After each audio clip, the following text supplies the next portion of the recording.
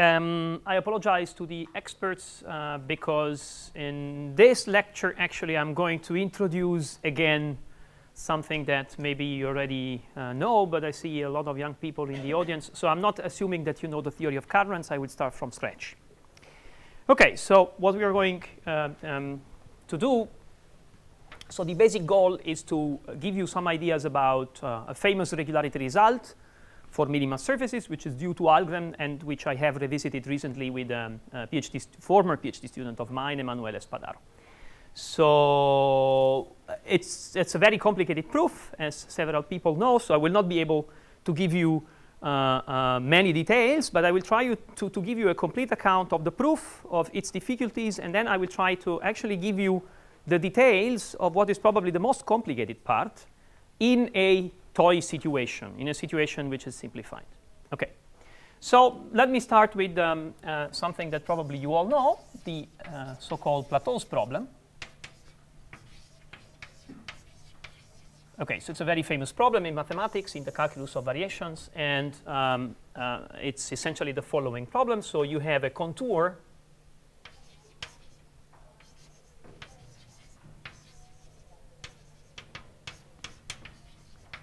which is n minus 1 dimensional.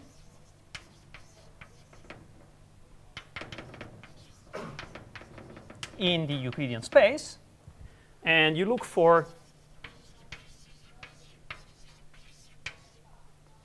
uh, surfaces sigma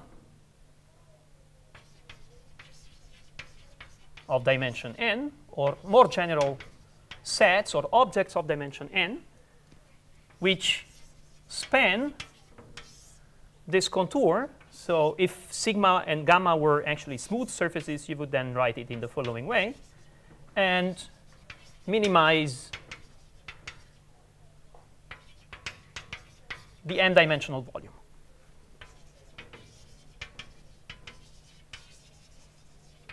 OK, so of course, two basic questions that you would ask about such a problem as a mathematician are existence and regularity. They're by no means the most important or, or, or the only important questions. I mean, there are several other uh, things which are important, so how they look like, whether you can compute interesting quantities, and so on. But of course, any interesting mathematical theory sooner or later will use uh, these two facts. I mean, the fact that if you have a contour, you, there is actually a minimizer which uh, has all sorts of consequences, for instance, replacement theorems. I mean, if you have a surface which is doing something and you want to cut out a piece, you might think of replacing it with a minimizer of the area. And of course, the regularity, because if you're interested in uh, uh, more qualitative uh, properties, one thing that you would like to do is to compute, uh, for instance, differential geometric invariants and things like that. OK, so mostly we will actually bother about regularity, but let me, of course, also telling, tell you something about existence. So, and then we come later to regularity. OK, so the question of existence is per se uh, at, at, the, at, the, at the very beginning uh, um, um already a very hard question. So what is actually the correct, the, the correct notion of surface that I have to take to, uh, to, uh, to give existence? So should I only allow surfaces which are smooth? Should I only allow surfaces which are embedded? Should I actually allow, I don't know, polyhedra or more general surfaces? So there are, in fact, several answers in the literature and the several answers in the literature, they are uh, all of them quite beautiful, and they serve different purposes. So depending on the questions that you are interested in, uh, that's at least my, my, my view about the topic. So I'm going, to, I'm going to enter into one particular way of formulating the existence, and it will be for the oriented plateau, plateau problem. So, and this will use the theory of currents. So it's very important that it's the oriented plateau problem. In particular, we will use the so-called integral currents.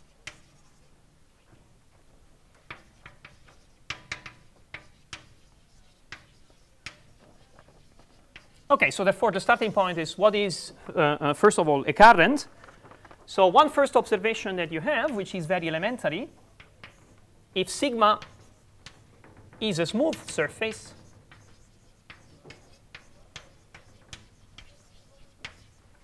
well-oriented surface. then you can integrate over the surface a form. And this gives you naturally an action on the space of forms.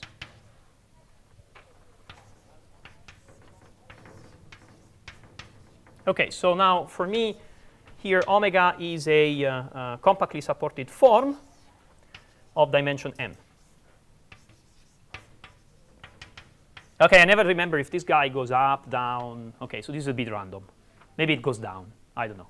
I mean, uh, maybe one thing that I should say is this uh, uh, first lecture I'm taking from a survey well, where the numbers should be correctly placed up or down because I look it up on the web. Uh, and the survey is not yet available on my web page, but it's going to be available very soon. I mean, I think at the end of the week. OK, so this gives you, of course, a linear functional, and then therefore motivates the following definition. For us, a current is just a linear functional on the space of smooth, compactly supported forms, which enjoys the usual continuity property. So a current for which we will usually use the uh, notation T, the letter T, is a continuous continuous linear functional on the space of smooth, compactly supported forms. Of course, depending on the dimension of the form, you will have a dimension for the current. So let me add here an m-dimensional current. OK, so I'm not going to tell you exactly what is the formal definition of continuity. You can imagine that. So of course, as a particular case, you get distributions, right? So a zero-dimensional current is just a continuous linear functional on the space of compactly supported uh, functions. Okay.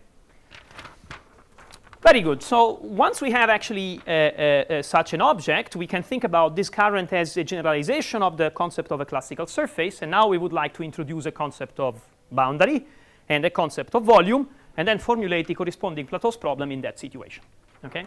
And this is rather easy. In fact, I should say that, I mean, the, the, the first one to introduce uh, uh, currents were, uh, was de Rham in the 50s. Although his primary, his primary interest was not the Plateau's problem, rather uh, building a, a, uh, an homology theory. But we will come back to that later. OK, so of course, a boundary is, is very easy to define. We do it uh, by enforcing Stokes' theorem. So the boundary of a current T, I have to specify what it is by its action on a form omega. And of course, I will just say that this is equal to the action of T on the d of omega. Okay? So, and the consistency with the usual surfaces is given by Stokes' theorem. But otherwise, for us, this is a, a definition. Okay, so this, is, this gives you the concept of boundary. The concept of mass is a bit more complicated. Okay, so for the concept of mass, you can actually do the following. So first of all, you introduce the comass, or maybe first you introduce the length of a simple k vector.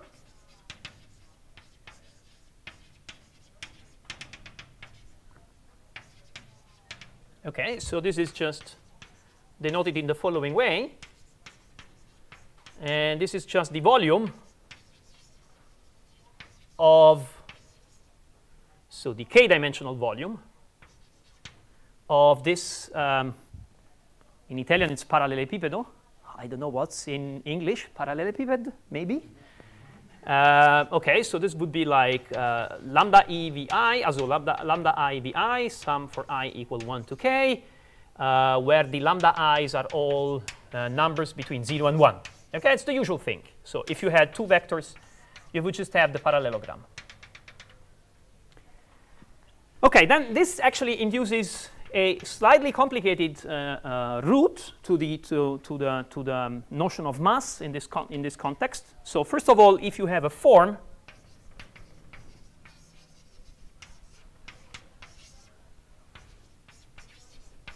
you introduce what is called the comass.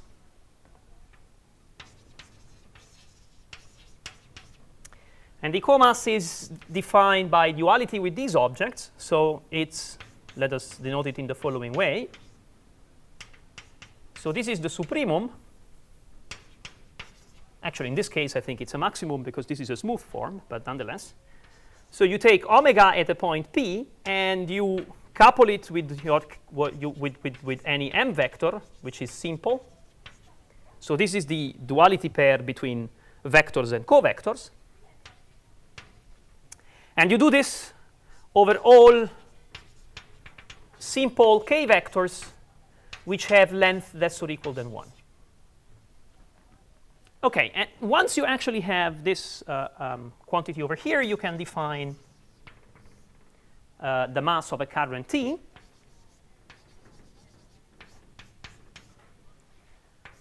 as the supremum of T of omega over all omegas which have comass less or equal than 1. OK, now it's a relatively simple exercise to actually show that if you have a classical surface, uh, that quantity over there gives you the area of a classical surface. OK? So this is, I leave it to you over here. It's a simple exercise using the, uh, the area formula. So first of all, let me introduce you to a very uh, uh, uh, common notation in geometric measure theory. So we have an object which is an oriented surface, sigma. But then we have another object which is the current induced by it. Okay, so usually to distinguish between the two objects, we actually call the current in this way. So we put these two uh, uh, brackets between sigma. Okay, so that's the current. So then the exercise is if sigma is an oriented submanifold,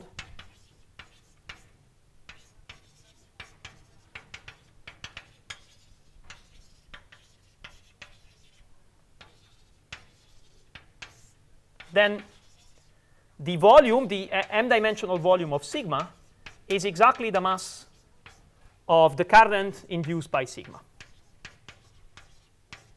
And the reason is the following. Write down what the area formula is telling you.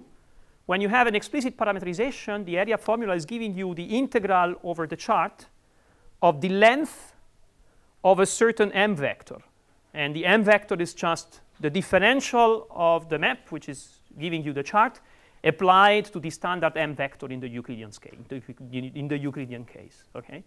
The action of the form is the integral of this m vector against omega. Okay? And the maximization that you have on that omega that you have defined in this way picks up on that simple m vector exactly the length of the m vector. Okay? So that's the reason why we went in duality in this way. Okay.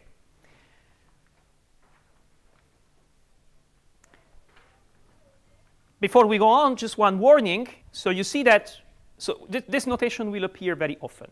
Okay? So we have a surface sigma, and then we, make the two brackets, and we consider the uh, uh, corresponding currents. We are going to do this even in a silly situation.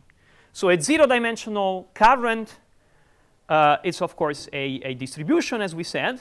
A zero-dimensional submanifold is a collection of points for me.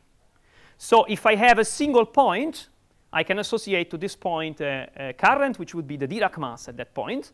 But rather than using the notation delta p for the Dirac mass of that point that anybody would do, I will instead use this notation over here.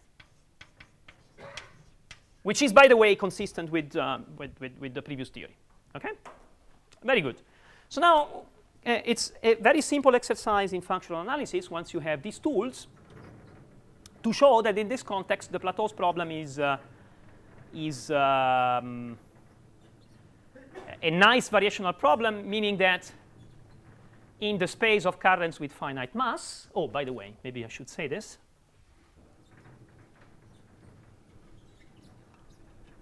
Stop? No, it doesn't. The red. Ah, stop. OK, so of course, T for me has finite or locally finite mass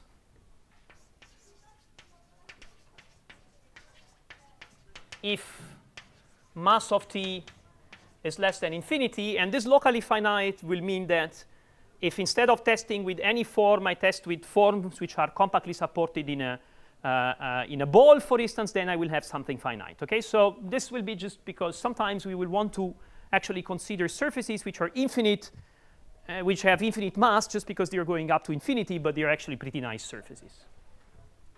Okay, so if, if of course, if I'm not consistent with, uh, with, with something, then you just tell me, but sometimes I will be a bit sloppy. Okay, so now this is again an exercise because it's basic functional analysis.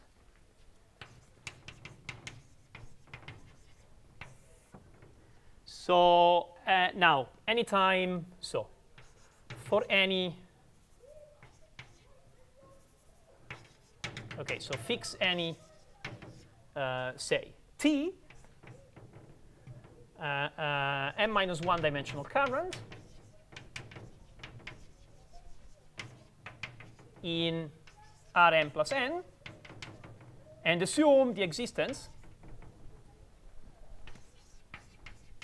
of a current of finite mass that spans it.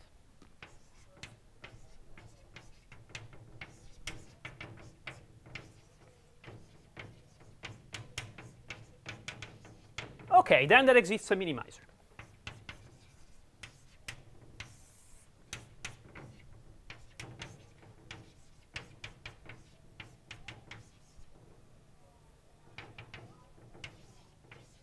Well, at this point, this is a minimum.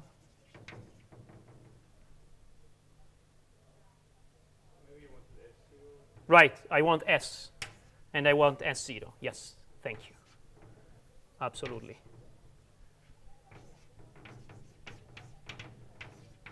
And of course, I want S0 to have the correct boundary.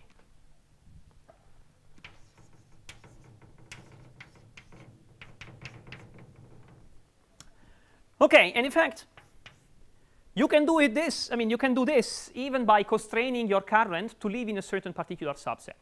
OK? So I can define the support of a current in the usual way. So the support of a current T is just the complement of the maximal open set such that if forms are, uh, are supported in, the, in this open set, then I don't get anything. So complement of maximal U open such that T of omega is equal to 0 for every omega which is supported in U.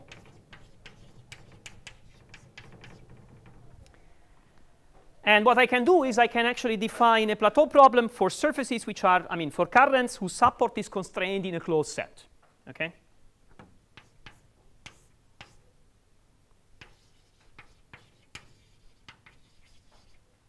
Okay, why is that interesting? Because by Nash embedding theorem, I can take any Riemannian manifold, any portion of a Riemannian manifold at least, any compact Riemannian manifold, and put it in the Euclidean space.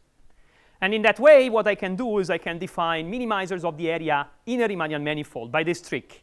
It's ugly from the geometric point of view. But for a lot of technical things, it's actually very effective because it's nice to have an object which is in the Euclidean space rather than in the, in the, in the, in the surface. And it's better than to go and then discuss vectors and covectors in a tangent bundle and so on, which, is, which adds some complications. OK, so this is just to say that it's uh, possible to solve the plateau problem in this way in Riemannian manifolds, and this is important for a lot of geometric applications, especially if you're looking at the plateau problem in higher codimension, uh, where a lot of the motivation comes from problems from differential geometry.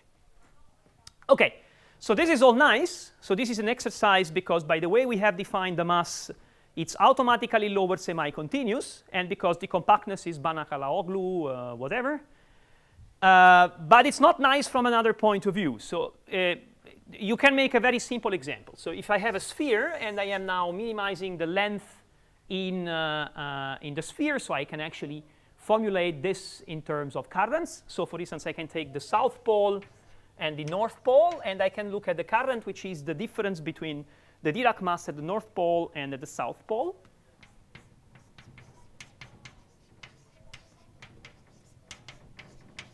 Now my constraint over here would be the sphere. So there is a minimizer of the mass among all one-dimensional currents which have n minus s as a boundary and which sits in the, in the sphere. But of course, you will recognize that what I can do in my formulation is take two meridians and put multiplicity lambda over here and multiplicity 1 minus lambda over there, and this would be a minimizer of the, a minimizer of the mass. A single meridian is a minimizer of the mass, But if I take two half meridians, I also have a minimizer of the mass.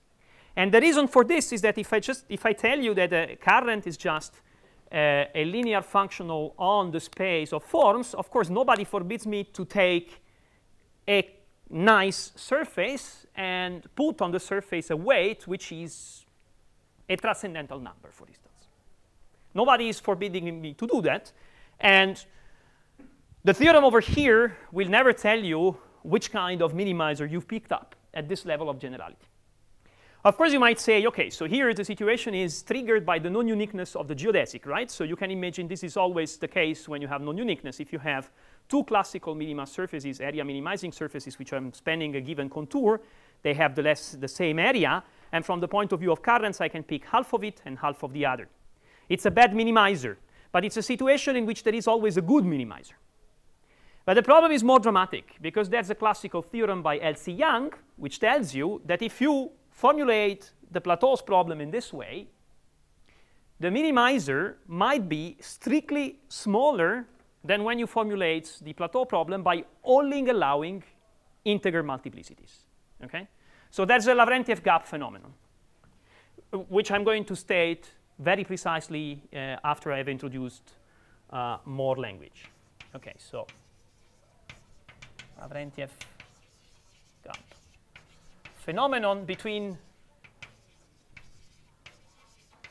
real and integer multiplicities.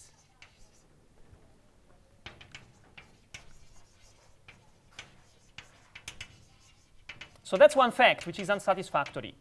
The other point is the following.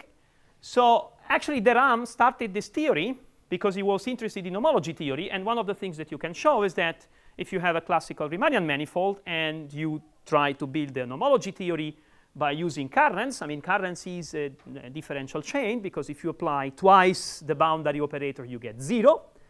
You can then recover the usual homology theories, but of course with real coefficients, not with integer coefficients, because you're allowing to multi multiplication by, by, by, by any number. Okay? So it's also from the point of view of geometry interesting to uh, uh, uh, restrict yourself to integer multiplicities. Uh, but of course, if you want to do something like that, then you have to introduce more structure, and uh, the game becomes much harder. OK, so that's I've done that, I've done that. OK, so maybe just one last notational thing, which I'm going to write over here. Uh, so um, no, I'm going to write it later. No, let me go on. OK, so let, let me come, therefore, to the Federer-Fleming theory. So now I want actually to allow only integer multiplicities. Or if you want, I want to uh, uh, allow only integer, I mean, only integer, I mean, only pieces of say, reasonable submanifolds counted with uh, different multiplicities. And so what I'm going to do is I'm going to define a special class of currents, which are called integer rectifiable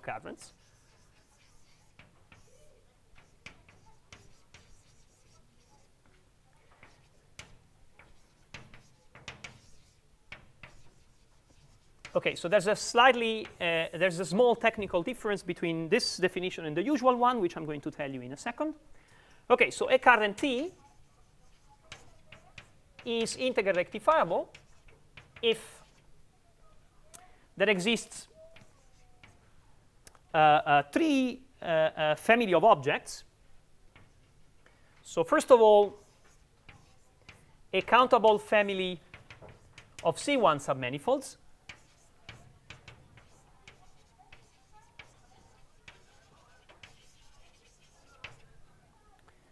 Then a countable subfamily of compact subsets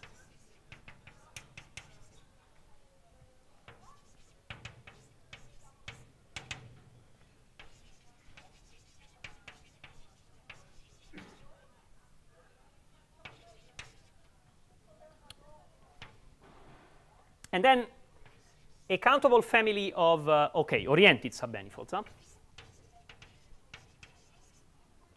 And then a, a, set of coefficients, lambda i, which we can assume to be and natural with the following property. So we want two formulas to be correct. So the first formula, we want somehow that T of omega, so the action of the current on the form, uh, uh, is the summation of lambda i times the integral over ki of omega. Okay, so on each of the compact subsets, I can integrate the form omega, which is well defined because I have a C1 submanifold. And then I want actually that the action of the current is the sum, I mean, is the series of this guy. Of course, to make this definition work, I would need that the series is summable. And I use this trick. Let me impose from the start that the sum of the k-dimensional of the m-dimensional volumes of the ki is finite. Okay, then this series actually, oh, times lambda i. Okay, then this series, of course, would be uh, uh, um, uh, absolutely summable. Okay, and it's it's it's well defined. Now, this is slightly awkward because I'm requiring that uh, the current has finite mass by this. It's actually not difficult to see that if I, you see it immediately, if I make this requirement, the mass of the current T will be bounded by this series, and therefore it will be finite. This is slightly awkward for some applications, so you actually have to modify the definition in such a way that this is true on every compact subset. Okay? And then what you will have is that an integral rectifiable current has locally finite mass. But that's actually what the usual definition does. OK, so let me just put over here plus a localization procedure. So the localization procedure would be tedious, but it just says that anytime that omega is supported, for instance, on a ball, I want actually that uh, the sum of lambda i and then the volume of the compact sets intersected with the ball is finite. Okay? That's what I want. Very good. So now, of course, this looks much more reasonable because I'm telling you, you cannot pick up half of a surface, right? So these coefficients have to be integers. But then you have lost the other powerful thing which we had before, that is this guy is not anymore a vector space because I cannot multiply by a real coefficient. So of course, you cannot have um, uh, both uh, things at the same time. So in Italy, we say you cannot have uh, the wife drunk and the barrel full of wine. that's that's what uh, that's what we say.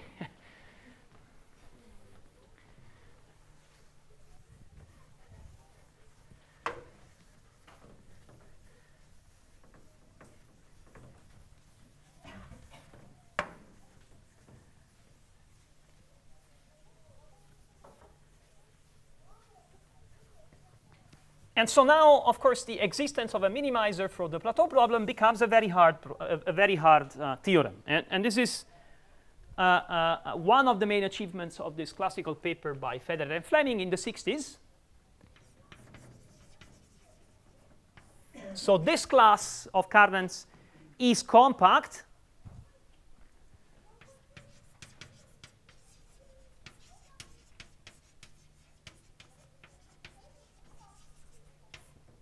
Okay, so the theorem says in particular that if tk is a sequence of integer rectifiable currents and the mass of tk is bounded a priori by a constant and the mass of the boundary of tk is bounded a priori by a constant, then a subsequence, not relabeled, converges to an integer rectifiable current. OK, so the mass, the semi-continuity of the mass is always the same uh, business. I mean, it's defined in duality, so it's obviously semi-continuous. So this is all you need to actually prove the existence of a minimizer. OK, so you fix a boundary, you fix a minimizing sequence, take a boundary which has finite mass, and then you have the, the mass of the boundary which is automatically bounded. And then, of course, if there is at least one current which has finite mass, which is always the case in the Euclidean space, we will see it in a second, then there is a minimizing sequence with a uniform bound, of course, on the mass of the, of the guys. So then you have both controls, and then you extract a subsequence, which is converging to something. The something has the same boundary because the boundary is fixed. And by semi-continuity, that has to be that has to have less mass than the limit of the masses. But then if it is also integer then it's in your class. So it has to be actually a minimizer. Good. So of course, here, um, just for the sake of simplicity, I'm formulating everything in the Euclidean space, but you can formulate a version of this theorem in which the currents are actually living not in the Euclidean space, but in an open subset. And the boundary would be relatively to the open subset. That is, when I define the boundary, I only allow to test with forms which are compactly supported. That is just to say that this theorem can be localized. You don't really need to have a control of the mass and the boundary over the whole space. But if you're interested in passing into the limit in an open subset for these objects, you can still do it. Okay? Good. So this, of course, does not exhaust the fundamental paper by Federer and Fleming because uh, there are at least two other major theorems in there. So one of them is the boundary rectifiability theorem.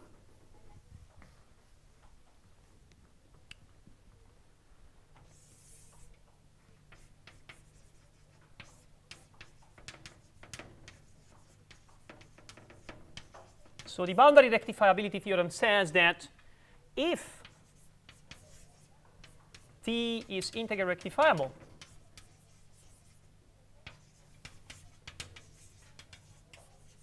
and the mass of the boundary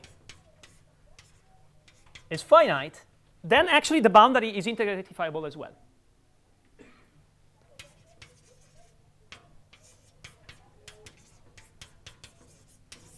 Right, which is a great conclusion. So it tells you a regularity of the boundary, essentially.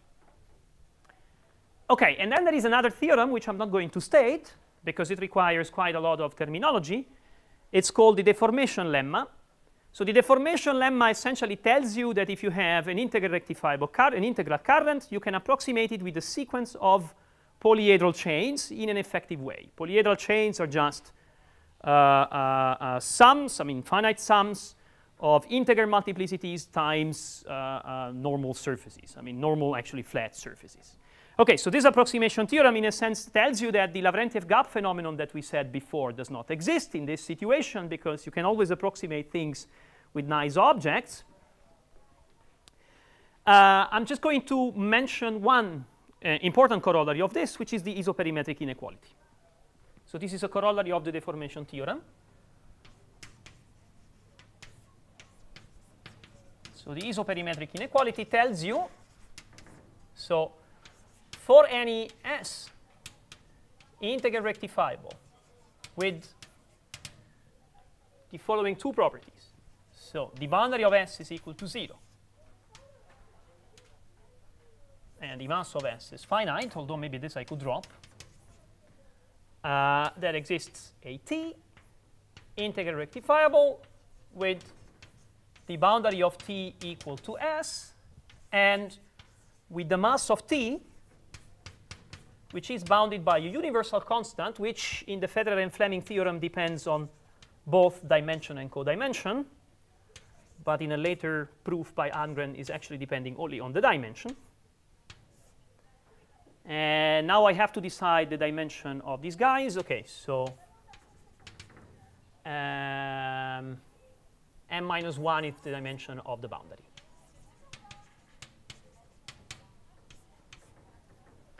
OK, now here there is a big caveat when I told you that you can approximate currents nicely with polyhedral chains. OK?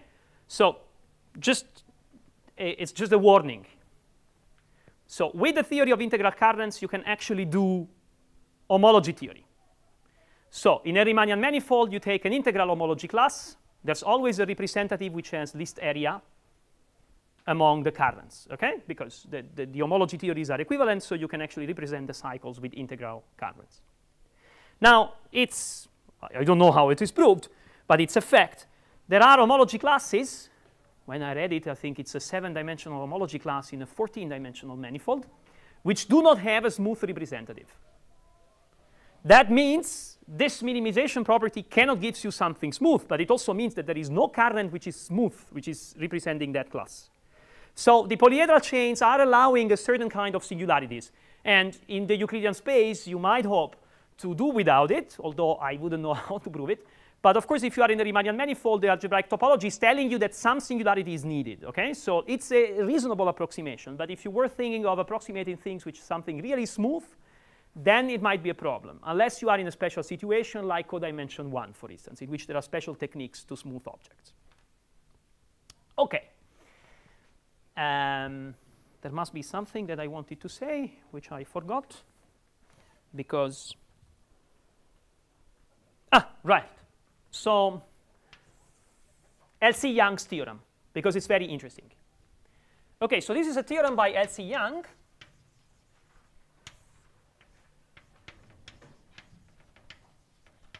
Uh, there are modern proofs. I think the, I mean, there is one modern proof by, by uh, uh, Frank Morgan. I think the most effective proof is actually by Brian White because it's just four pages. So this theorem says, the following. So there exists a gamma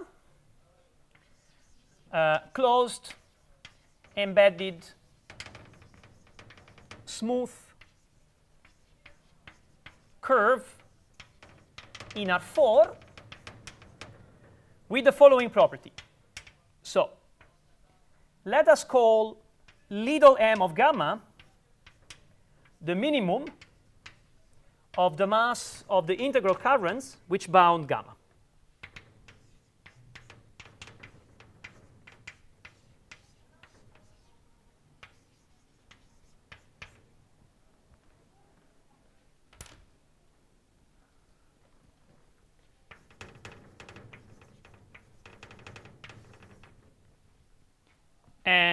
Okay, so actually this should be big M of gamma, sorry, which is a bad notation because there's the, the mass. Um, uh, curly M of gamma. Okay, and then little m of gamma is going to be the same, but I, I remove the integer multiplicity. So I allow you to actually to take real co so real coefficients. So now we have two theorems which tell us that both of them are well defined. And the Lavrentiev gap phenomenon is now simple to state. This little m gamma is strictly less than this big M gamma. So that is a crazy construction with half surfaces, which is going to give you less than the minimizer when you are constrained to use only uh, um, integer coefficients. Okay? And R4 is very important. Actually, in, in Brian White's construction, this gamma is a special curve in a Klein bottle which is put in a strange way in R4. Okay.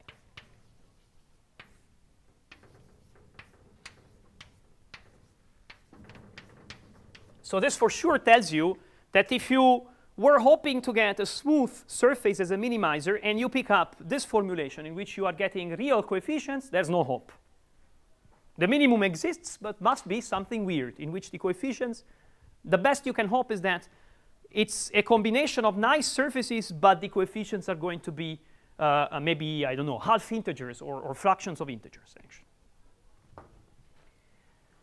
OK, so very good. Sorry to, uh, to bother the experts with this uh, very long introduction. So now we finally come to uh, the main point. So we have a minimizer. And the question is how regular this minimizer is. So is it, for instance, or can we hope that it is a classical surface, or is it going to have necessarily some singularities?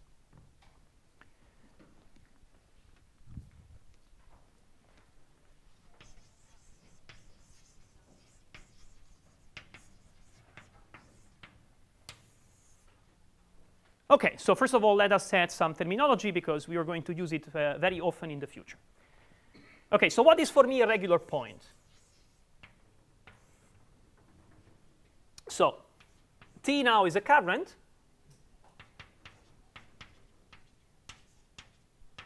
I want to define two uh, two objects. So the set of interior regular points of T. So these are points which are not belonging to the support of the boundary.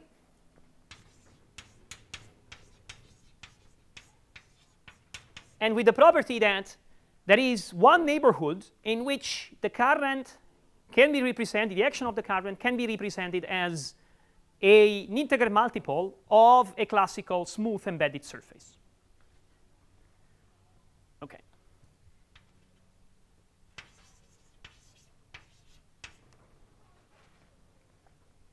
So there exists a ball, and now I need to introduce one notation, which is the following. So it's the restriction of the current to ball of radius rho centered at x.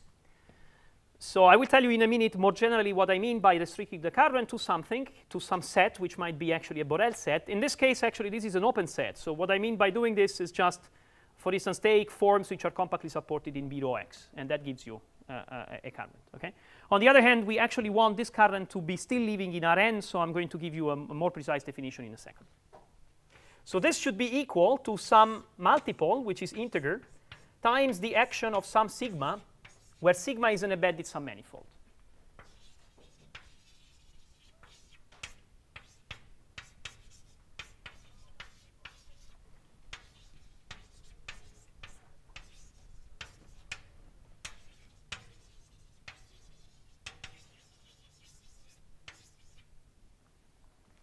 Okay, and then, of course, the singular set of T, it's the interior singular set. What it is, it's just the complement of the regular points. But the, the complement inside, uh, uh, um, I mean, in Rn, m plus n minus the, uh, uh, the support of the boundary of T. Okay.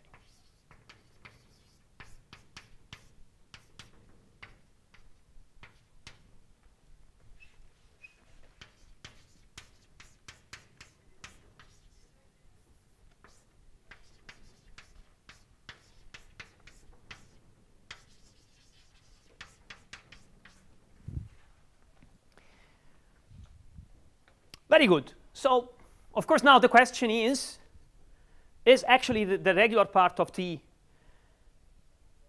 is the singularity, I mean, empty?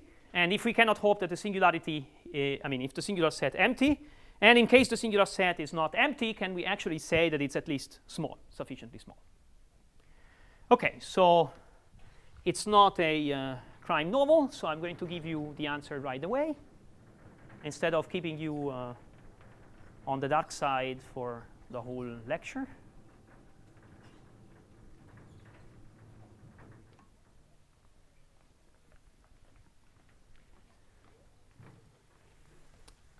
And the answer makes a dramatic difference for the codimension of the current. Of course, the codimension of the current is just the dimension of the ambient space minus the dimension of the current. I didn't say it, but okay. So there are two theorems. So now, um, therefore, now let us fix t, integer rectifiable, and area minimizing.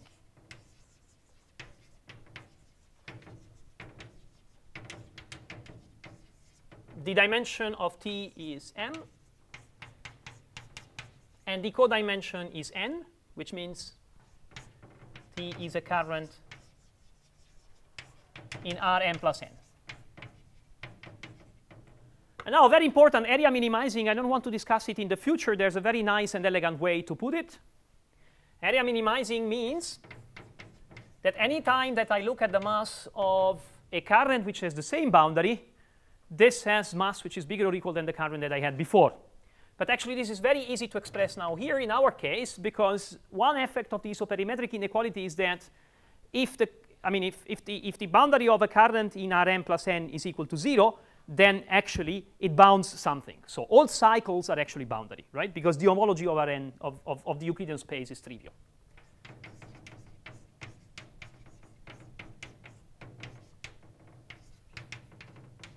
OK, so this is the condition of being area minimizing. Okay, so then there are two theorems. So the first theorem is in codimension 1.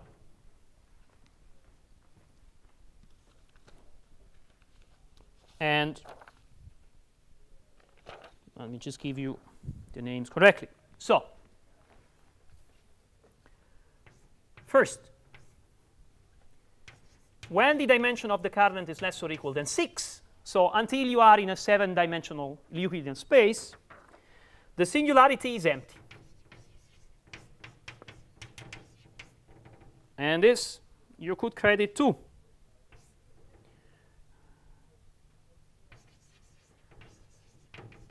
De Giorgi and Fleming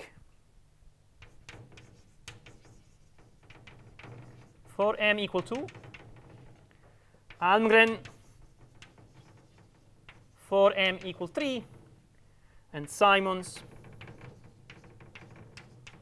for 4 up to 6. Actually, this is, OK, so I'm, I'm, going to be a bit more precise because I'm going to give you an history of the regularity theory. This is a bit, it's not like the guys solved it for m equal 2, then Almgrens come with a different proof. I mean, all is constructed and piled up on top of the work of the others. I mean, it's really kind of an achievement of everybody.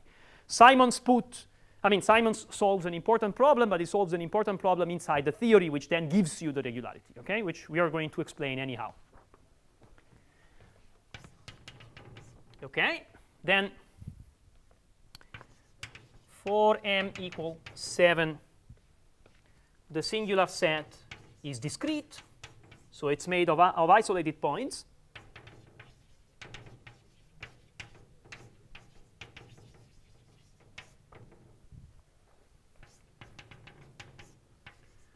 For m bigger than 7, the singular set has Hausdorff dimension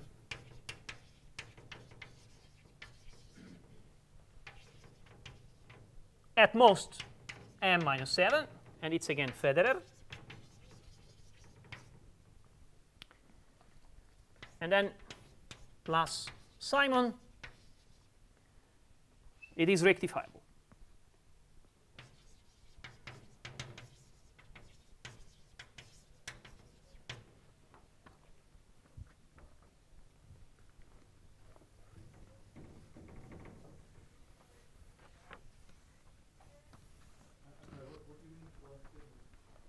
Sorry? What, what, what's the? Uh, the singular, I mean, this singular set has not only dimension m minus 7, but is m minus 7 countably rectifiable. OK, and on top of this, maybe let me write it over here, 5 Bombieri De Giorgi Giusti. This is optimal.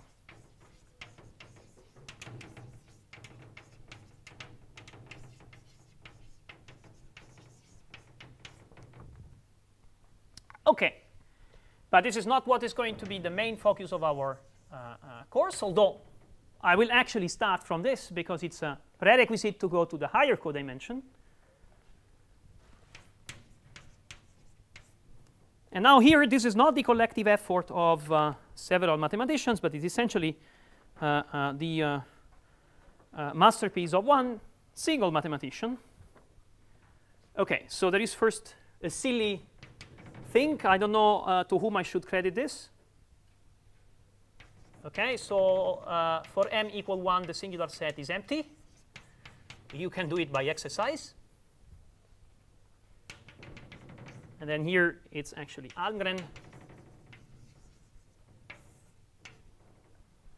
So for m larger than 1, the dimension of the singular set is at most m minus 2, the Hausdorff dimension. And this has been improved by Chang for m equal 2, the singular set of T is discrete. OK, so it's a good place to stop, I think we can make a 10 minutes break, so I can start again at uh, 4.30. So let me tell you, so what do we want to do? So we want to actually analyze mostly uh, this proof. um, so this was known as big Almgren's regularity paper because it, uh, it was a huge proof before it was um, before the joy of TeX. I think it was uh, more than 1,700 pages, and uh, we have a more modern version of this theorem. So we are essentially following the same program of Almgren, broadly speaking, but of course we have added some new ideas to make it shorter and more accessible.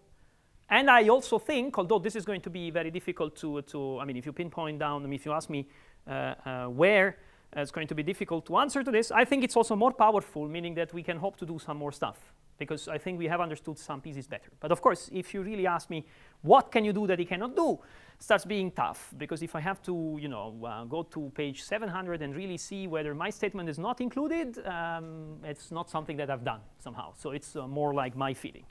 Okay, so the plan is actually to uh, look at this, but it will be impossible to look at this without uh, making first a little bit of history on what happened over here. Okay, and this is what we start doing uh, in the next hour.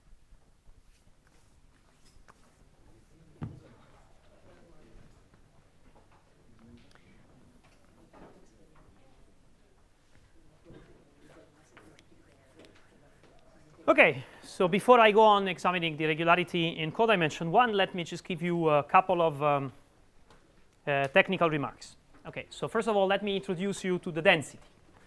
So what is the density of a current? So when it exists, it's the, uh, okay, no, before I should actually localize the mass. Sorry. Okay. So first of all, I have to introduce the total variation.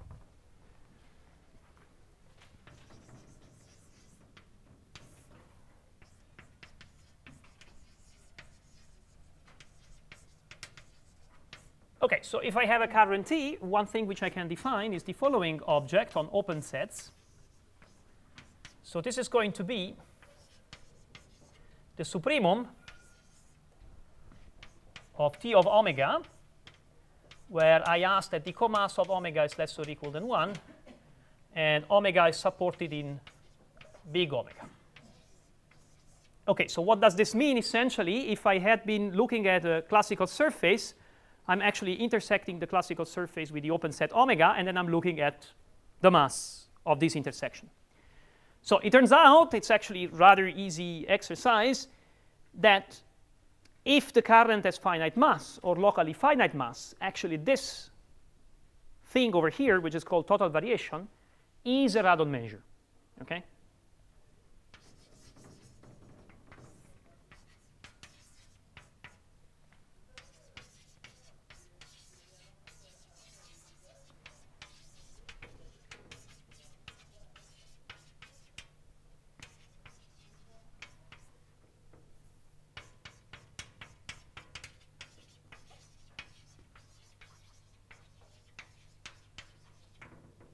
Okay, so once I have something like this, I can define the density for an m-dimensional current by looking at the ratio between the total variation on a ball of reduced rho and the corresponding volume for a classical m-dimensional disk, with, with I which I would denote by omega m r to the m. Okay, so that's the density.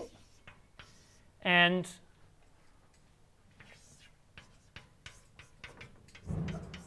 So if it exists, the density is the limit as the radius goes to 0 of the total variation on the ball of radius rho, centered at x, redivided by omega m rho to the power m. Okay, so this omega m is always going to be the uh, m-dimensional uh, Lebesgue measure of the unit ball in Rm. Okay, so now what happens? I mean, the only things which is interesting for us in the moment, I mean, there's always going to be integer rectifiable currents. So what happens for integer rectifiable currents? It happens the following very nice fact. Theta exists almost everywhere with respect to the total variation, and it's an integer almost everywhere. So that's if you want a theorem, more than a theorem is maybe a proposition. So if t is integer rectifiable, theta exists and belongs to the real numbers, to, to, to, to the natural numbers, t almost everywhere. actually, if you go back to the representation that I give you for that I gave you for integer rectifiable right, with uh, multiples of pieces of submanifolds, the integer over there is going to be exactly the coefficient which we put in front of the compact sets ki, almost everywhere. Okay, so it's consistent with the chopping uh, with, with chopping into pieces that I did before. Okay, so that's one, one thing which is going to be very important. A second, thing, a second thing which is going to be very important for us is the following procedure, which we, we which we will call blow up.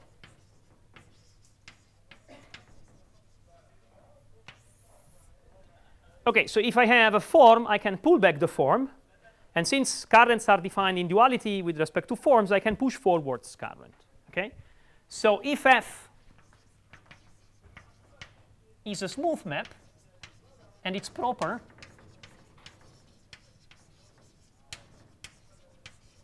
I can push forward the current. I have to define the action on form omega, and, one, and the way to do this is to pull back the form and then compute t on this. Okay? So, so, so, so as he was saying, this is just fancifying a very natural operation. so if sigma is a nice surface and f is a diffeomorphism, pushing forward would mean just to take f of sigma, so the image of sigma through the diffeomorphism. And this would be completely compatible. So if t is just the current induced by a nice guy, f sharp t would be just this one, at least if f is a diffeomorphism.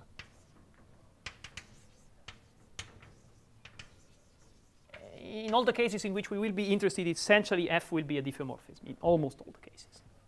Okay, what about this proper? Okay, so this proper is just, I mean, if the map is not proper, you see if I pull back a differential form uh, via a map which is not proper, the, the, the, the, corresponding differential form might not have compact support, okay? This is just slightly technical, because on the other hand, if the support of the current T is uh, compact, then I don't care. I can integrate even forms which have non-compact support. So let's put it between parentheses. Okay, so now there is a very natural operation that I can do on, on, on, surfaces and which, I'm, and which we do all the time, and it's just dilations by, by a constant factor. Okay, so I, I, I can take as map f what I will uh, denote by IPR. So what is this map? So this map takes a point P, puts it back in the origin, and enlarges the surface by a factor 1 over r.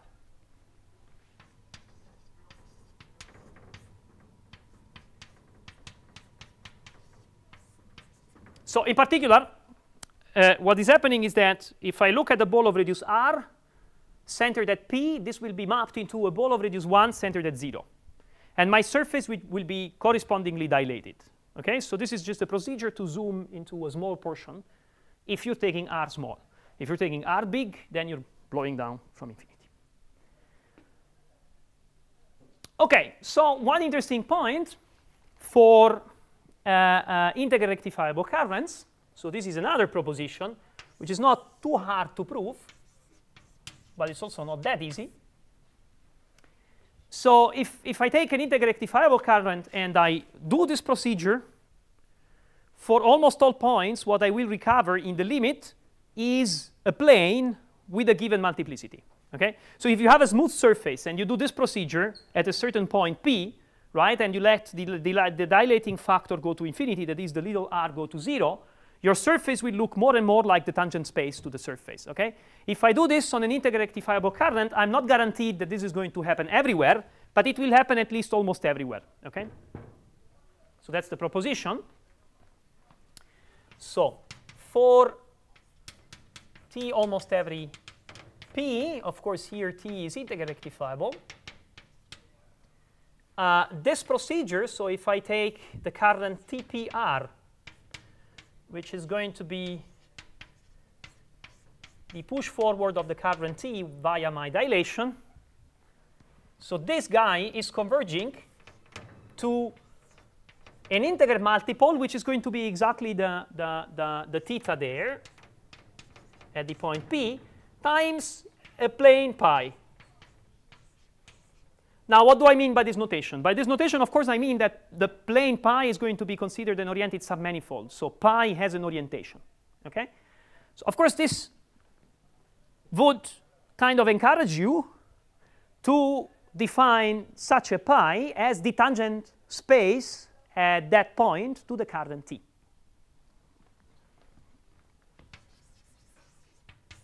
So pi is usually called the approximate tangent because, of course, if you had a smooth surface, you would converge uniformly, or ck. Here you're converging in a weak sense, in the sense of current.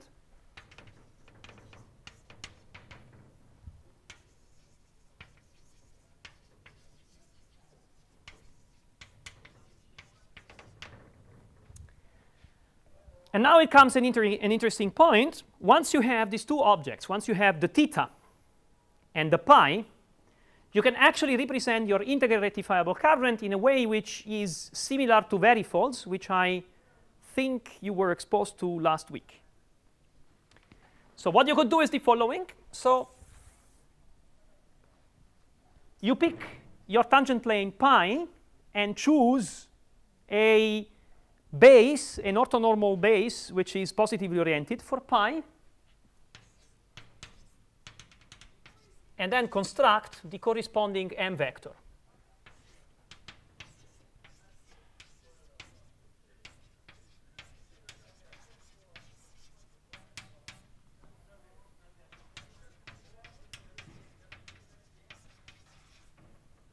Okay, this guy, of course, now will depend on the point P, right?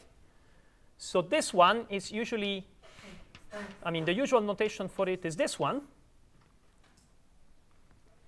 And now it happens that I can represent my integral rectifiable current as a measure in the following way. So I could, I could use the following identity that t is equal to theta, my t vector, and then my total variation in the following sense. When I look at the action of t on a form, I can recover it by an integral over this Borel measure. So I have the form at the point P, and I can make the duality pairing with my m vector t at the point P. Then I multiply by the uh, density. And then I integrate over this total variation, which I told you it's a Borel measure. Now, this is just, I mean, explained in this way, is just a fancy formulation of the Radon-Nikodym theorem, actually. Okay, so this is an effect of the Radon-Nikodym theorem. So you can think about the current as a measure taking values in, in, in a certain vector space, and that, that would be the Radon-Nikodym decomposition of it. Okay, so if you know what, what that is, I'm happy. If, if you don't know, I'm happy either way because I just gave you the formula. But this is a fancy corollary of radon-Nikodym.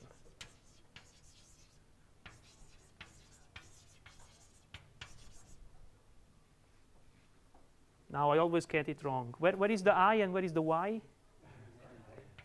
This way, right? And then there's an accent. Like here? Well, I don't know. Well, my Hungarian friend is not here to reproach me anyhow, so. Very good. So now, once I have this, you see that what I can do is I can define a restriction of the current T to any Borel set. So this will be a definition. If you give me a Borel set, the restriction of the current T to this set is going to be defined as I'm integrating this quantity, but the integral is taken over only over this set.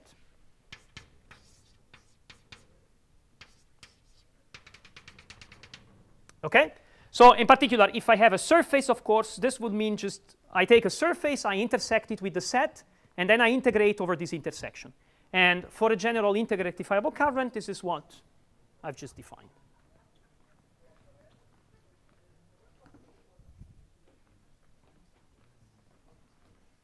OK, so this should be all for the technical part. Now we can start by investigating the uh, regularity problems. So what is the first information that uh, you can gain on, uh, on an area minimizing current? So, well, the first thing that I think every book does is the so-called monotonicity formula, which is the effect of a very simple idea in our context and in, in our framework, which is that of area minimizers. So if I want to gain some information on the behavior of the current somewhere, what I can do is I can cook up some competitors for it. Yes?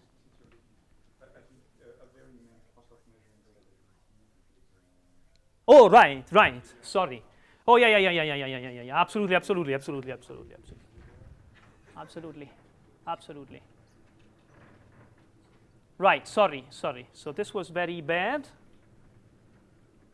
This was very bad, sorry. So my mistake, actually. So, okay. So you can do it this way. So this would be the Radon-Nikodym, in fact. But there's an extra step that you can take.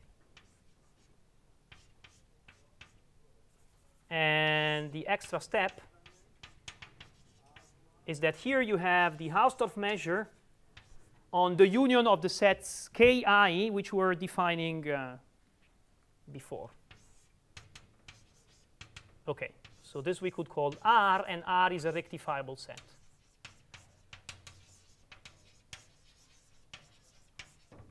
Right. And then therefore you have two formulas. So one formula would be this one.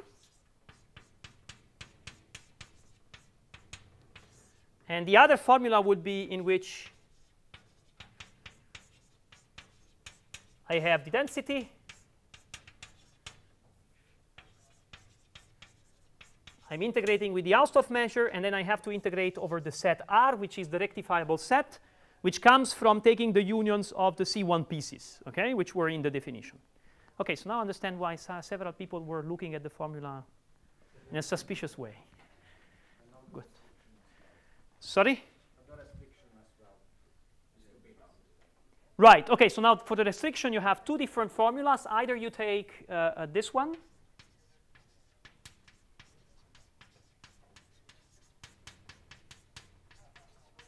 or of course you take the second and you integrate over R intersected with E.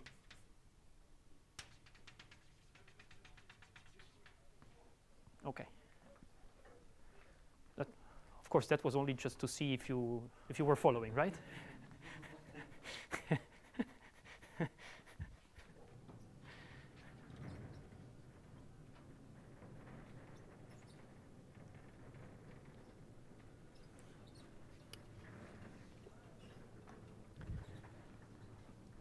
Okay, monotonicity formula. So mm, what you can do is the following.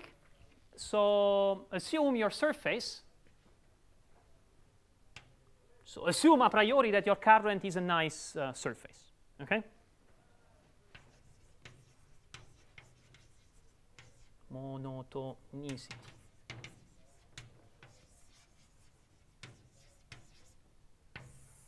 So here's the heuristic.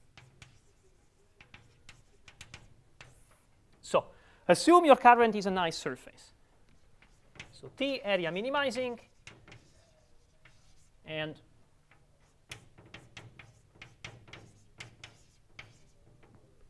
OK, so here you have your surface.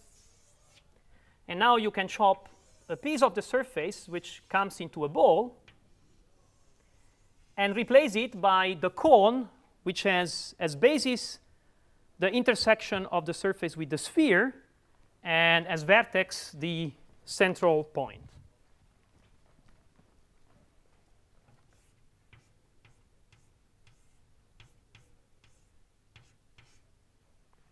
Okay, so of course, now this is a surface which has the same boundary as before, and of course it must have larger area. Okay. Now, you can do this for a general current. So you can take a general current intersecting with a sphere.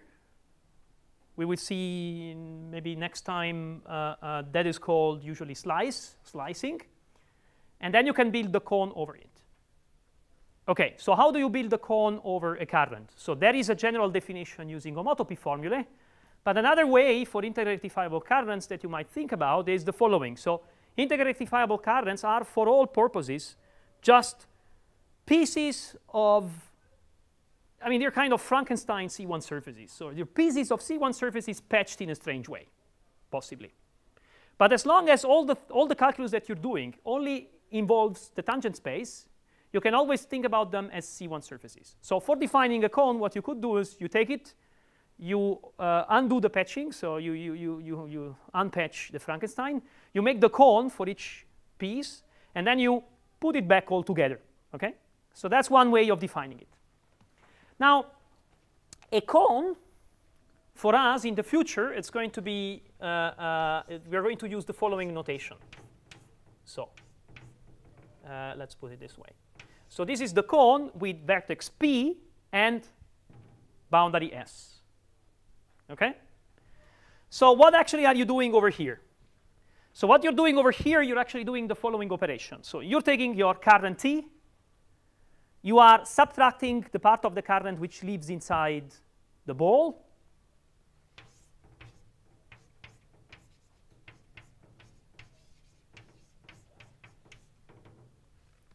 Then what you are doing, you are taking the boundary of this, right? The boundary of this is going to be this slice with the sphere. And you are making a cone with the central point x. OK, so in, in the theory of currents, this would be uh, the symbol for all of this.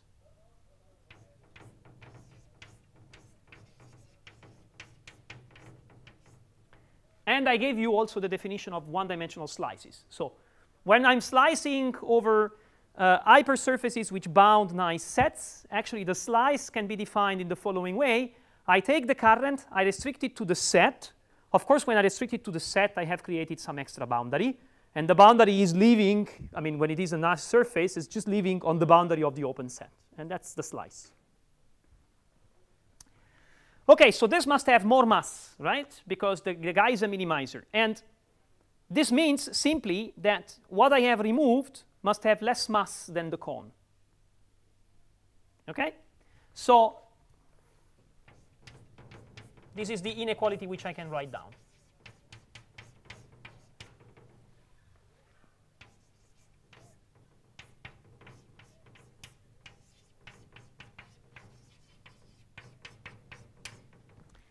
Okay, so now if I had a nice smooth surface, I would know how to compute the volume of the cone which has that base, right? So the volume of the cone would be r divided by the dimension times the total mass of the slice. Let's check if I'm correct. I think so, but I said I'm, i was going to look at this. I, I never looked at it, I think, so far. So maybe this is a good moment.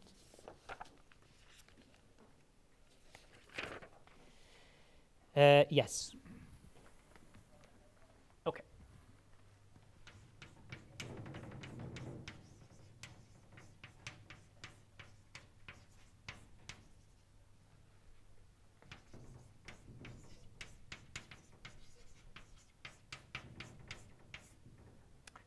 Okay, now there is something which one should prove this is the Coarea formula.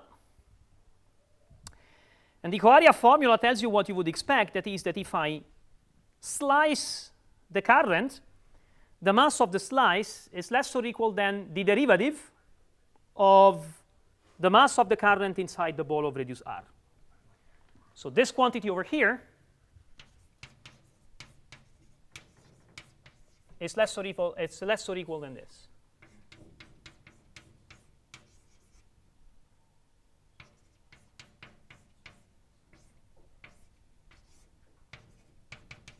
Right? I mean, I differentiate and evaluate the differential at the point rho.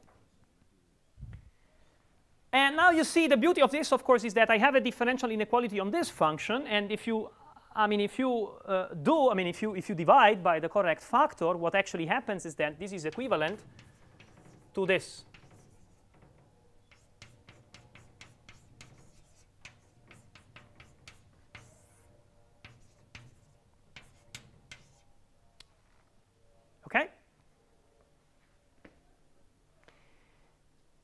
So this ratio is monotone. So this is one way of, of, of, of stating the monotonicity, the monotonicity formula. But there's actually a much nicer way which tells you not only that the, that the quantity is monotone, it tells you how big is the rest. So it gives you a formula for this, for this derivative over here, which is explicit. Okay?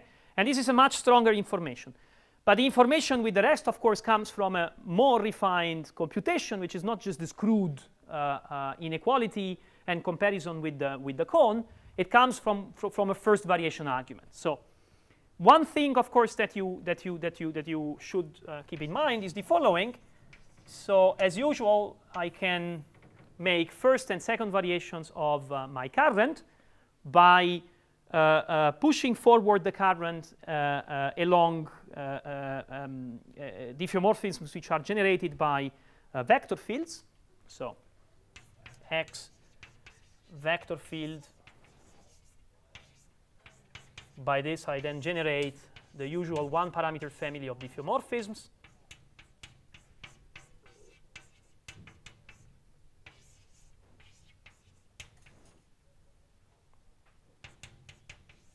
And then I can push forward my currents using, using phi t.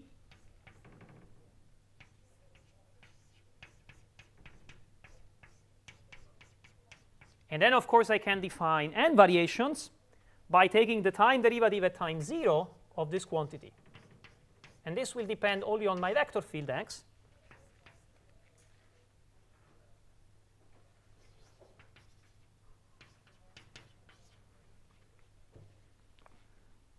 not true. Uh, if it is minimizing, okay, so, okay, so let me just put it over here, sorry. So that what I was going to write is actually notoriously incorrect. Okay, so the first variation depends only on x, that's for sure.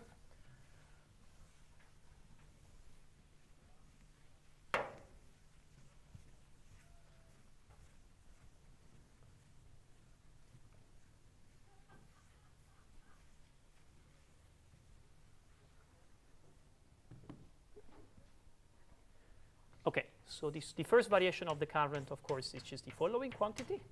But probably the way I'm formulating also the k variations I can do.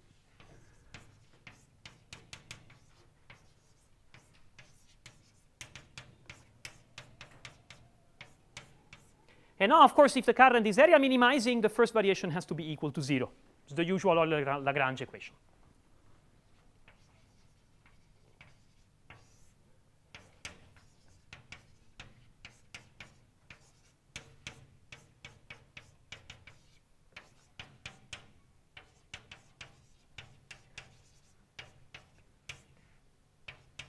As long as my vector field doesn't touch the support of the boundary.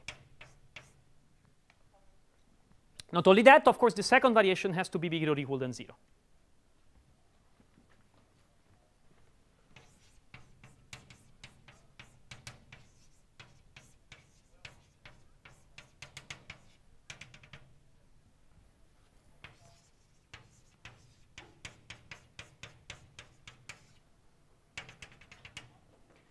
So now, this is usually called stationary, and this is called stable.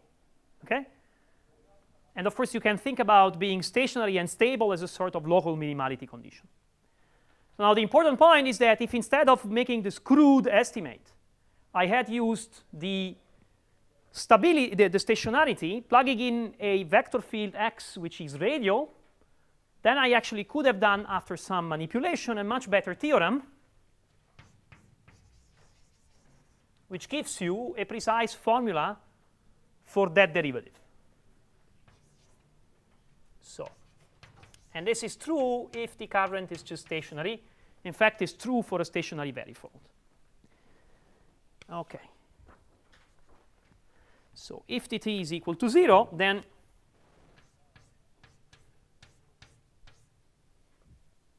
I'm just going to, to use the integrated form of the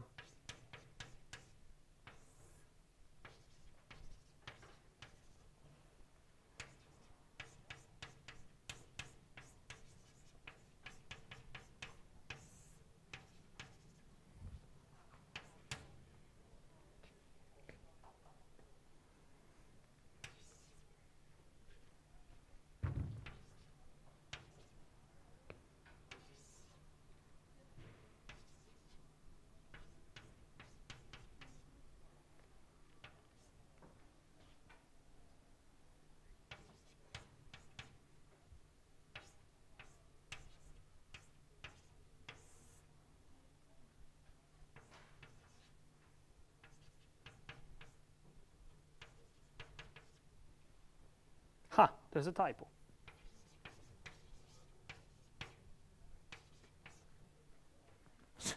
So the only time I'm using the notes is actually when the formula is not correct. Okay. okay, so that's the formula. So that uh, you okay. So what is this? So uh, you are integrating over y at each point y. Uh, uh um, okay, sorry. So here's the, the current. So at each point y, you have a tangent. At almost each point y, you have a tangent plane to the current, and that is the orthogonal part to that tangent plane of the vector y minus x. So you take y minus x to the point, you then subtract the projection on the tangent plane that, you that you're seeing at the point y. If there is a tangent plane. If there's not a tangent plane, don't bother because, of course, you are integrating over this, and the points where there are no tangent planes is a null set. OK, and this integer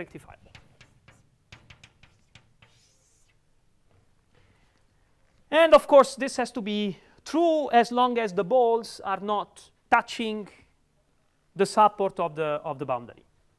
So 0 less than s less than r less than the distance between the point x and the boundary and the support of the boundary of t. Okay. So now, as I was telling you before, this gives you one very important corollary. The first very important corollary is that the density exists at every point for an area minimizing current. So that limit is always good. It always exists, which is a very useful piece of information, but it's not the only useful piece of information. There is another one. And now I'm experiencing the drawback. I would like to use this later, and it's going to be covered, OK?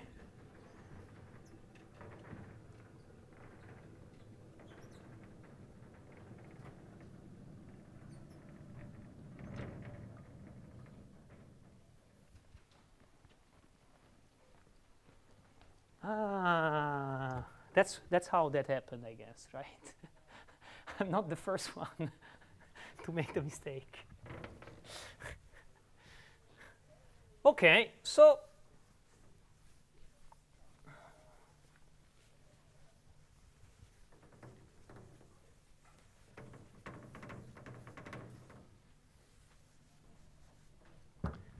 One nice thing that one would like to use is the following. So when I'm doing the zooming, I can pull it up again. Then I'm not going to use it any anymore.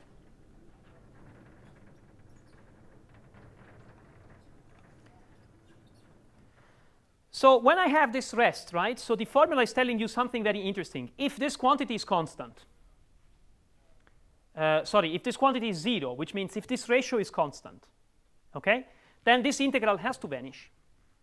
This integral vanishes means that y minus x has to be tangent to the surface. But y minus x is tangent to the surface if and only if the surface is a cone with vertex x. Okay?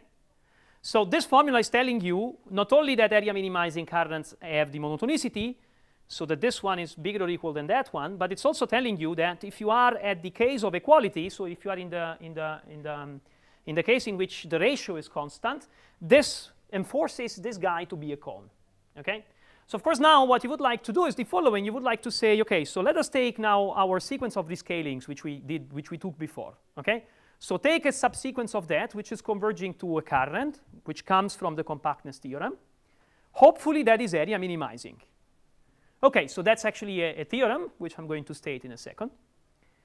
If that is area minimizing, and if the limit of the mass, I mean, if the masses are going to the limit, then for that final object, this ratio is going to be constant when I use balls which are centered in 0.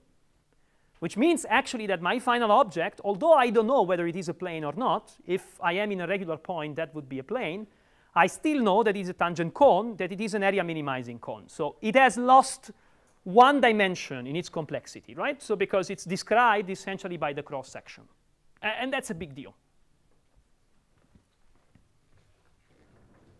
OK, so let me state this proposition over here.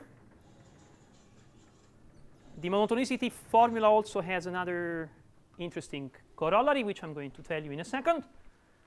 So first of all, there is the following theorem, for which I give you a uh, uh, um, um, loose explanation. So if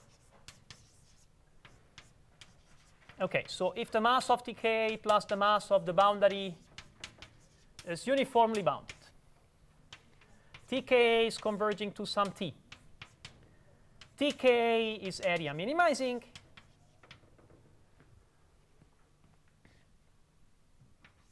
Well, let's assume the boundary of Tk is equal to 0 inside some, some open set omega.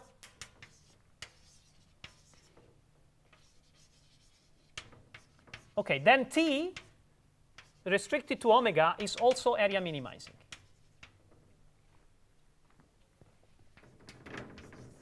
Okay, proof with quotation marks. So what is actually happening is something like this. So your sequence of currents is converging to this final current over here. So it looks like this. This one is going down. Well, it looks like this if the convergence is nice, which is most likely not going to be for the moment, but it looks like this. So now say that you have a current which is making less area for the orange one. So you have a competitor which makes less area. Now, what you would like to do is you would like to use this competitor, right, to contradict the minimality of the sequence which is getting close to it. Of course, it's not, I mean, the, the currents are converging to the other current, but it's not quite that this that they are equal, right? So you have to lose a certain amount of energy in the patching. So what you would like to do is something like this, right? So some kind of patching over here. And then use this as a competitor. And what is going to happen is that the green current is gaining a certain amount, delta, whereas the patching is going to be less and less costly in the energy as the sequence is approaching down the final current. Okay, so that would be a proof. Now, of course, there's the deformation lemma, which tells you that you can do the patching. So this is a pretty complicated fact. Okay, so deformation lemma, which I quoted before, is the technical tool to make the patching. Now, notice another thing. So not only this guy is telling you, not only this proof is telling you that you cannot lower the, energy, the mass of the final current, right? It's also telling you that the semi-continuity of the mass that you had for free must actually be continuity in this case. I mean, if the final current is going to be strictly less than the lim-inf of the masses of the other currents, then you can use that guy as a competitor. Okay, so it also tells you that there is a stronger sort of convergence in this, in this thing over here.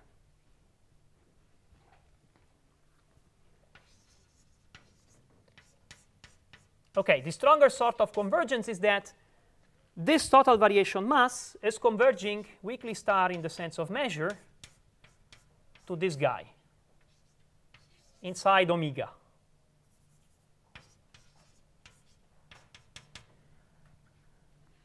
There's a little technical problem. So there might be loss of mass, but only towards the boundary. So as soon as you are inside omega, there cannot be any loss of mass. OK, so now this theorem combined with the monotonicity formula has a corollary, and the corollary is the following. So anytime that you make the blow-up procedure that we introduced before, so T area minimizing, and notice that you use the, the, I mean, you need the area minimizing for the compactness argument. Huh? That's important. But otherwise, the monotonicity formula is true for stationary. So T area minimizing, for every x, you can take the rescaled current, which we have called Txr, and up to subsequences, they are converging to cones.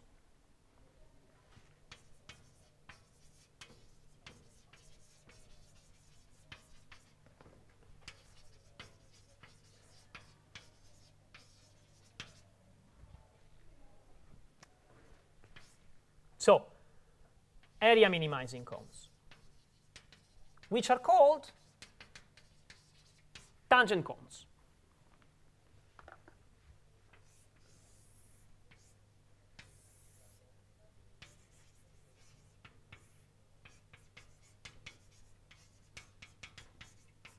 Not anymore tangent planes because you don't know it's a plane, but tangent cones.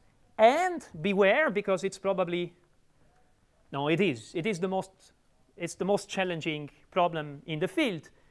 You don't know that this cone is unique. Nobody told you. You have to take a subsequence. And it's a very widely open open problem to, I mean, I think people expect it's unique. It's a very wide open problem to show that this is unique. It has been solved in some very meaningful situations, but which, which are very far to cover uh, uh, all the possibilities. So of course, you know one situation in which the tangent cone is unique. If you have regularity, then it's going to be the tangent plane, right?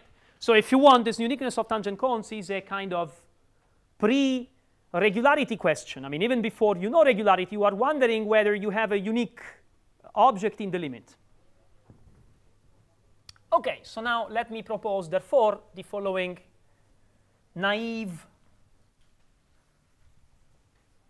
approach to regularity. So, of course, if so if you are at a regular point, at that point there is a unique tangent cone, which is the tangent plane to your surface counted with the multiplicity that is given you in, in, in, in, in, in a certain uh, neighborhood. So the regular set of T is contained in the sets of point x at which there exists at least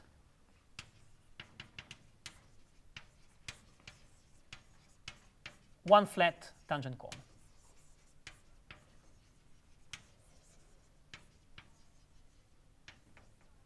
Okay, so for me now, flat tangent cone means a plane counted with multiplicity. Let me write it over here.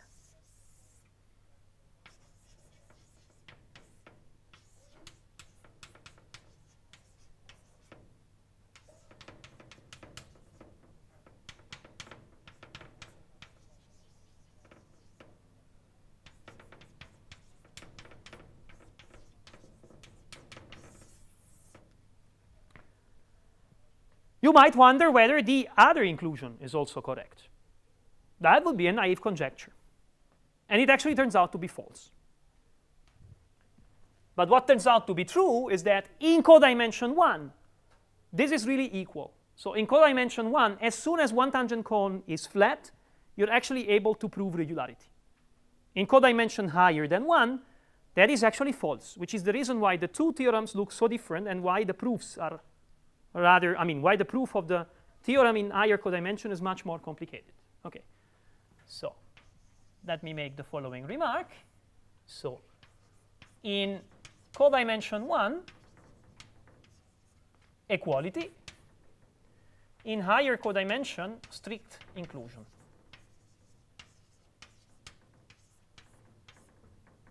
And this is, in a nutshell, the whole difference between the two situations. And we are going to see why. Okay, so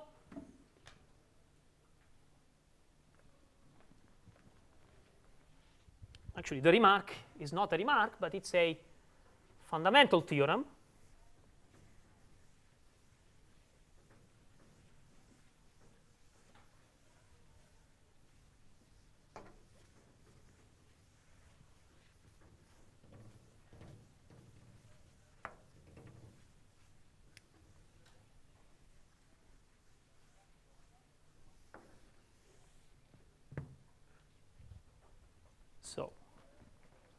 Let me actually just state what is the situation in all dimension and codimensions. Then I stop, and we start tomorrow by analyzing how uh, the codimension, I mean, how, how the proof of the codimension one case works, and uh, then why in higher codimension actually this doesn't work.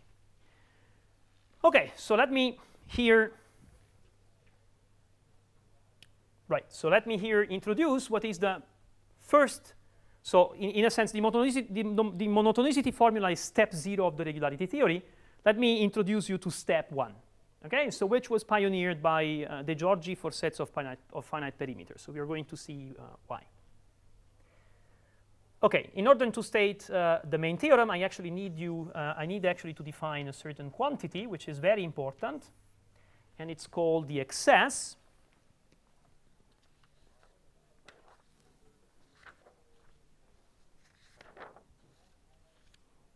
Okay, so now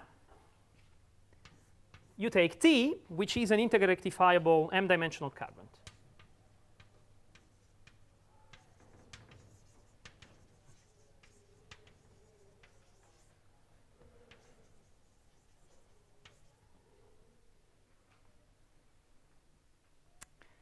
and pi an m-dimensional plane.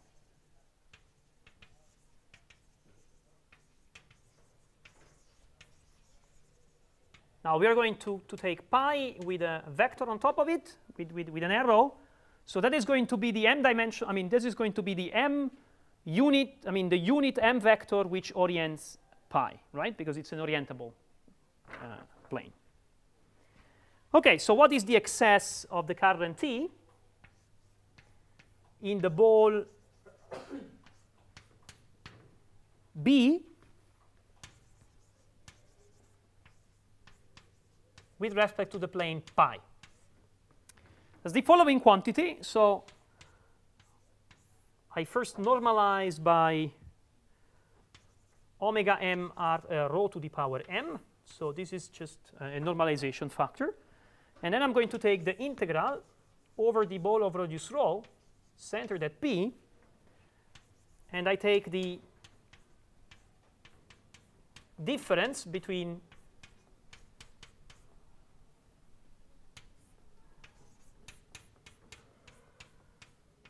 the m vector orienting my current and the plane pi. Okay? So to the, to the power 2. So you, you can think about it as an L2 oscillation, essentially, of the tangent planes, right? Well, not really an L2 oscillation because I'm, I'm, I'm, I'm, taking a, a, fixed point pi, but what I can define is I can define the excess without any reference to a plane by simply minimizing that quantity over all possible planes.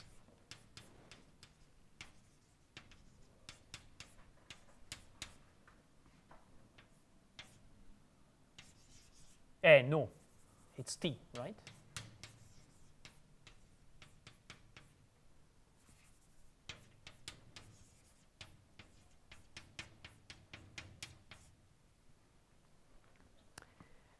Okay, so this, this will be uh, the most important parameter for uh, our epsilon regularity theorem, which is coming in a second. So what I'm going to state is a prototype of an epsilon regularity theorem, meaning I will just claim the following. When this guy is below a certain threshold, there's a threshold, which is a, uni I mean, it's a universal constant, which will depend only on dimension and codimension. And when the oscillation is smaller than this threshold, in half the ball, I will be a classical surface. That's the epsilon regularity theorem. And that would be wonderful if it were really this way. But it doesn't come this way. It comes with two technical addition, I mean, with a couple of, of, of additional requirements. And a couple of them are totally innocent, but one of them is a pain in the ass. Okay, so here's the theorem. And so an initial version of this theorem was proved in codimension 1 by De Giorgi. In higher codimension, I think the first one to prove it is actually Almgren. Okay, so there exists two guys. So a universal constant c and a universal constant epsilon bigger than 0. They depend only on dimension and codimension.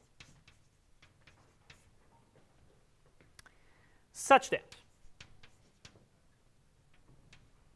so if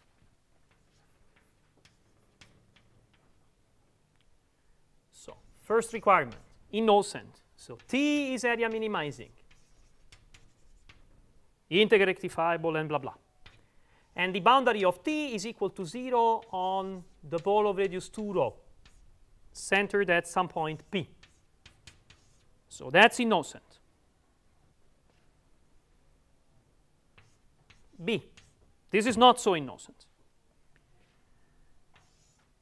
So the density at the point P is equal to Q and the density at any other point x is equal to q for t almost every x.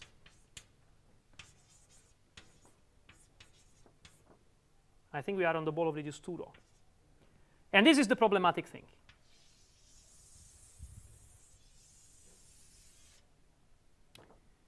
Because the monotonicity formula actually tells you one corollary, which I forgot to tell you. No, it's coming. The monotonicity formula tells you not only that theta exists at every point, but it tells you that it's upper semi-continuous. So the natural condition over here would be something like less or equal than q almost everywhere, right? Because after all, it's upper semi-continuous, and since it has to be integer valued almost everywhere, it cannot pick up the value q plus 1 for a sequence of points which is going to the central point. But the upper semi-continuity does not exclude that there is a point of density 2, and there are points of density 1 which are converging to it. And of course, for our definition of regularity, that is not going to be a regular point. Okay? And I'm asking a priori that that doesn't happen, which is a bad sign, right? Because I'm asking a priori that that point is not a singular point of a certain kind. And that's the reason why this condition is bad.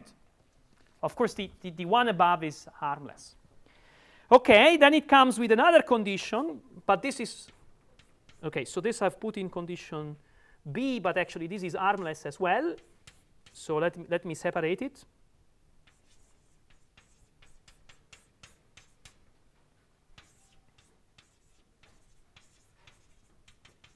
So now the monotonicity formula tells me that the ratio of this divided by rho to the m is converging from above to the density of the point, to q. So this is completely armless. Of course, the monotonicity formula tells me at a certain point I will be below this threshold, right? Because the density is the limit. Okay, and then there is the final requirement, right?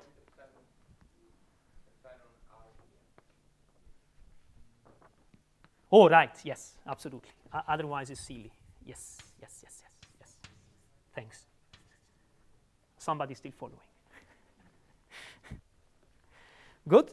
Uh, absolutely, of course, it's the ratio which has to converge to this guy. Otherwise, it's a silly condition. OK, and finally, I want the excess to be sufficiently small.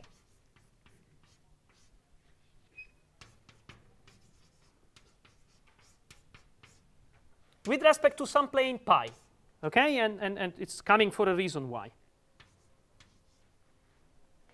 OK, this is also kind of harmless. As soon as you have a tangent plane which is flat. Uh, why? Because, okay, so in principle, I know I'm converging to the tangent plane in mass, right?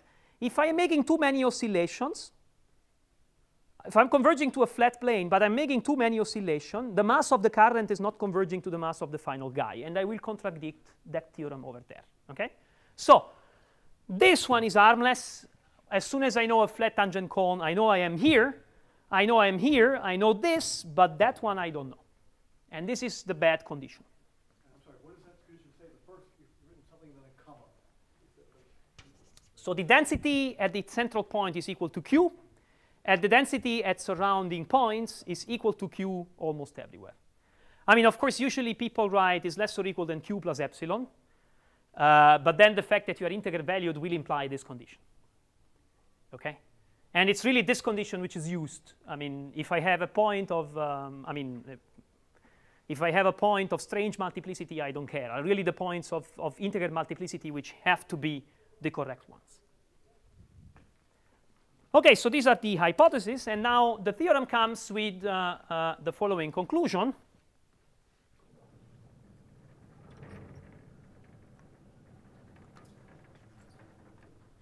OK, so then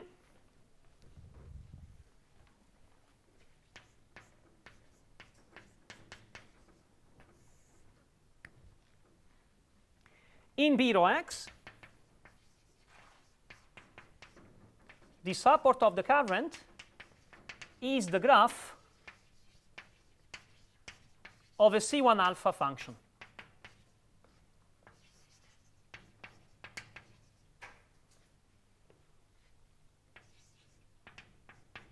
from pi to the orthogonal to pi. So not only a C1 alpha function, but a C1 alpha function with this reference. And it comes with an estimate. For some reason, I want to, for some reason which will become clear tomorrow. So the uh, uh, 0 alpha semi-norm is controlled by a constant. Here you have the excess to the power 1 half And here you just have rho to the minus alpha as a scaling factor. Sorry? Ah, the derivative, the derivative. G. Right. For the function, you have the corresponding estimate. I mean, for, for the C0 norm, you have the corresponding estimate. OK, so I'm going, uh, sorry?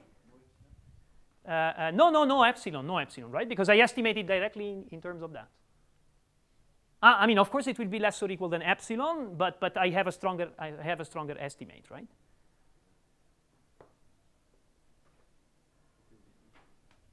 It's in the E. Sorry? Uh, no, no, I thought epsilon was somewhere else. Like in C? Right. Uh, epsilon is here. Epsilon is there. Is the smallness condition?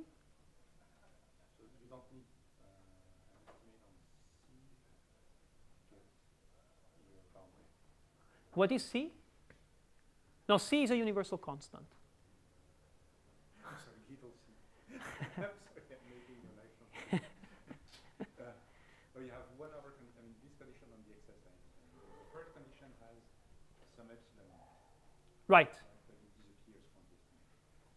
it disappears from the estimate. Right? Well, it's in the estimate because since E is less than epsilon, this guy is less than epsilon to the 1 half.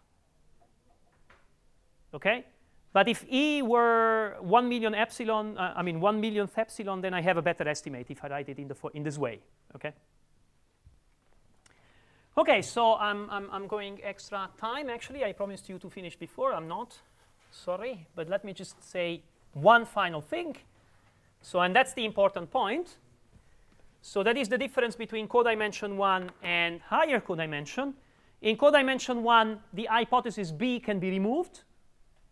And then it is a true epsilon regularity theorem. The hypothesis B will come actually from the codimension 1 assumption and some extra structure. And in higher codimension, the hypothesis B is really needed. There are counterexamples.